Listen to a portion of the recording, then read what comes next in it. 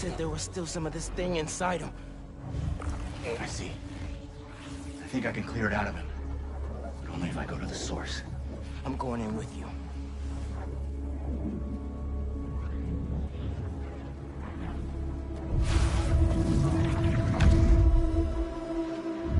Oh, hi, sweetie. You're just What are you doing here? time for dinner.